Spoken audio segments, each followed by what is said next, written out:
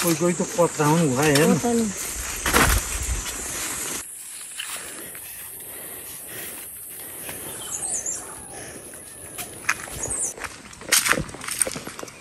हामी चाहिँ अहिले मकै लिनुको लागि बारीतिर जान लागेका छौँ बुवा अगाडि अगाडि गइसक्नु भएको छ।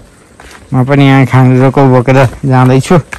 मम्मी पछि पछि आउँदै हुनुहुन्छ मम्मी पनि। यताबाट ऊ डोको बोकेर डोको हल्लाउँदै आउनु आँखा मम्मी पनि। अब हामी बारीतिरै लाग्छौँ है त। बारी चाहिँ अलि तलै छ लगभग आधी घन्टा तल छ। अलि उक्लिँदा तिनिक्क तन्काइ तन्काइ उक्लिनु पर्छ खुट्टा नि। यहाँ सानैले यत्रो बढेमानको घाँस बारी बनाइभ्याउनुहुन्छ यत्रो है। यत्रो बनाइभ्याउनुहुन्छ गाडी। ए हाम्रो त कति दिन भयो घाँसै देखेँ यहाँ चाहिँ यस्तै दुम्सी आएर मकै खायो भनेर दुम्सीको लागि यहाँ बार छ। यो साडीको बार हो। यहाँ साडीको धेरै युज छ हाम्रोतिर चाहिँ। दुम्सीको लागि बार यसरी साडीले बारेर बनाइन्छ हाम्रोतिरै। घरै पछि बार्न रहेछ यता पनि छ।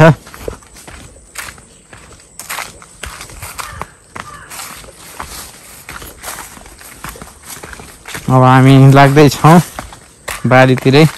बाटो पनि अलिक चिप्लो चिप्लै रहेछ। बिहान पानी परेको थियो त्यही भएर।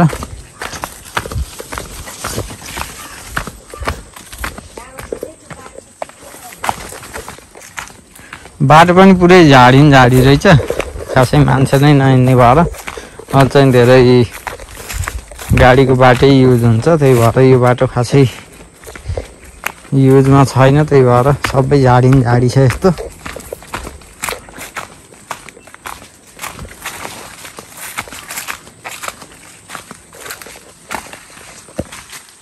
हामी लाग्दैछौँ यहाँ चाहिँ बाटोमा एकदम राम्रो फुलेको रहेछ यो फुल। के फुल हो यस्तै हो काइदा फुलेको रहेछ।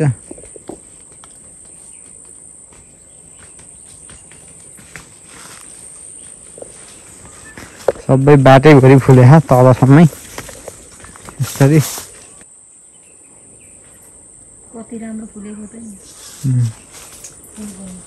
सार्ने जस्तै रहेछ। घाँटी घाँटी साह्रै होइन। घाँटी साह्रै जस्तै हो यो घाँटी चाहियो जस्तो।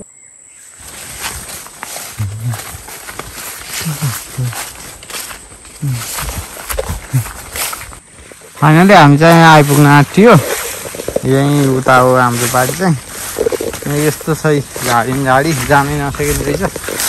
यस्तै झाडी झाडी छ। त्यो पनि हामी जाँदैछौँ।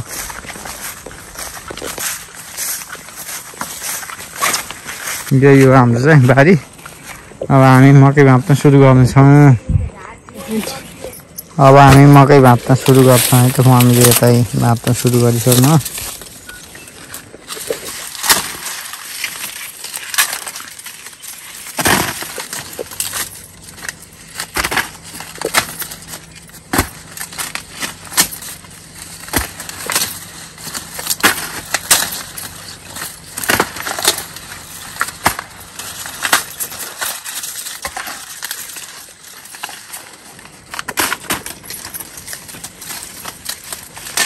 म पनि भाँच्छु है त अब।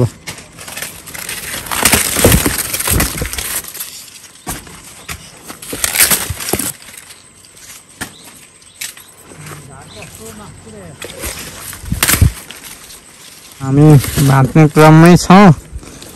खाङ्रेरोको मा खनाउने भनेर मम्मीले यतै आफ्नो खुम्से भएर दाउँदै हुनुहुन्छ खनाउँदैछौँ। यहाँ सिकाली यस्तो चिसो त्यही त हिजो मलाई पनि त्यो दिएको क्या हो कामकोप त काँचै पार्छ चिसो नि हिजो त्यस्तै थियो त यो त त्यो यस्तो त थिएन होला त्यस्तै खाँचै गढेको पनि यहाँ त अझै मेरो नि यहाँ हामी खानेर कहाँ हाल्दैछौँ बुवाल चाहिँ उता भाँच्दै हुनुहुन्छ अब हामी लिएर जानेछौँ कसरी ढुक्कै भाङ्ने भयो ए बाबा डोकै लडे एकातिर भङ्गै लडे पर्सि यहाँ मलाई कोपी हाल्यो अलमोस्ट परिन आँटेको छ अब अलिअलि हालेर यहाँ नाम्रो ला- नाम्रो छ हामी त तर भरेर जान्छौँ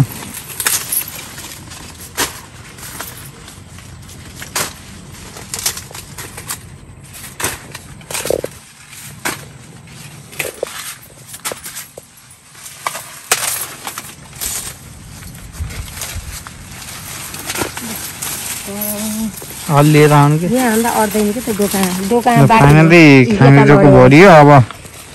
यहाँ हामी बोकेर जाँदैछौँ बुहारोमा। बुवा उताबाट आउँदै हुनुहुन्छ। म त यहाँ बोकेर जाँदैछु।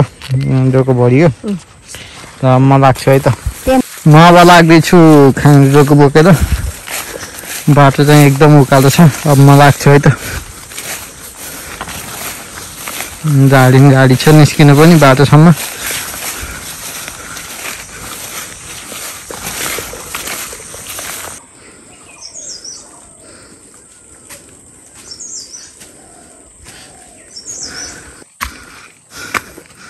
म चाहिँ जाने क्रममा छु अन्धारो छु।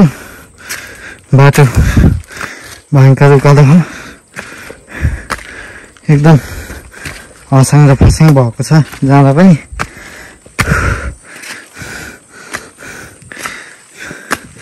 खुट्टा कैँडा परेर पुरै दुखी पनि रहेको छ। अगाडि जाँदा भन्दा पछाडि आइरहेको छ खुट्टा नि।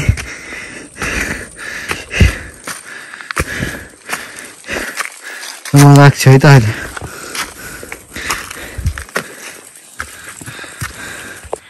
फाइनलमा घर आइपुगेँ।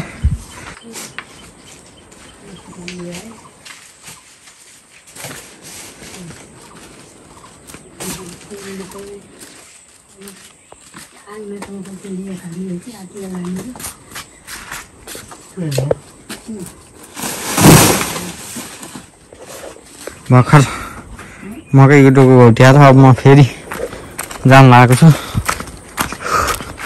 पुरै पसिना पसिना भएको छ उहाँको जस्तो भएको पुरै नित्रुक्कै भएको छु बुवा पनि भर्खर आएर अगाडि हिँडिसक्नु भएको छ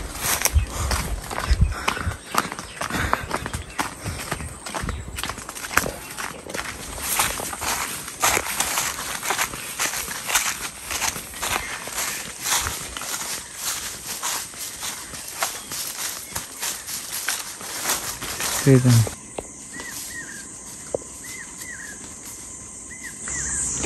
त आइपुगेको छु फेरि। यहाँ मम्मीले मकै भाँचेर राखिदिनु भएको रहेछ त्यही भएर यहाँ अलिक खाङ्रीमा हालिसकेको छु लगभग भरिन आँटिसकेको छ अलिकति मात्रै बाँकी छ भरिन उताबाट ल्याउँदै हुनुहुन्छ मम्मीले। उता बुवाको डोको पनि भरिदिँदै हुनुहुन्छ। बुवा र मैले चाहिँ बोक्दैछौँ मम्मीले भाँचेर राखिदिँदै हुनुहुन्छ यहाँ।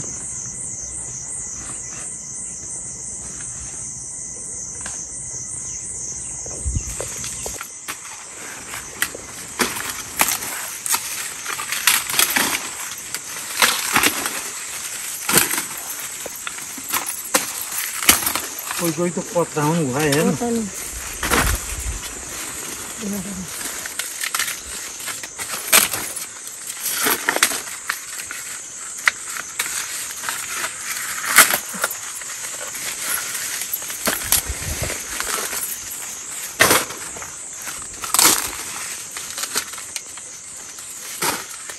पछाडि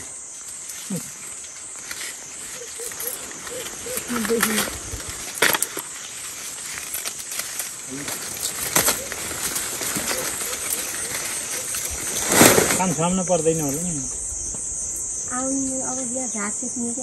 सबैले। मान्छे भएर उठाउनु जानुपर्छ अलिक तलका ल्याउनु पर्छ मकै माथि चढाएर लानु होला। म सिटमा लानु पर्दा आँसी लिएर आउँछु बुझ्न मकै माथि चढाउने? मेरो खाङ्रे नि भरिसक्यो अब म लाग्दैछु अलिक यता बुवा पनि बोकेर हिँडिसक्नु भएको छ। लामो हँसी एउटा डोको हो यो कान्छाको जाउँ लिएर आउनु कान्छाको राम्रो लामो हँसी डोकै कुच्ची अब चाहिँ हामी फेरि लाग्दैछौँ घरतिर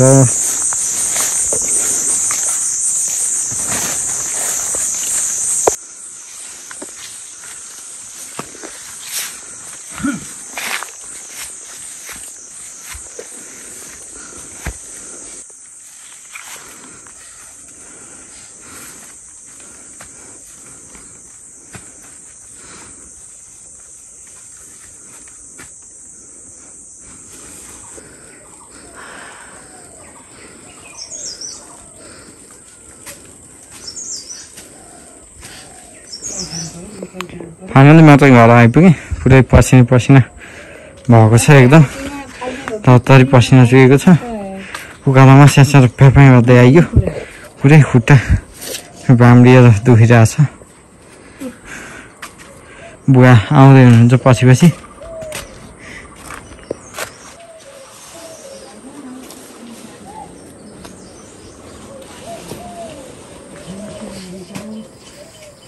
बुवा पनि आइसक्नु भएको छ।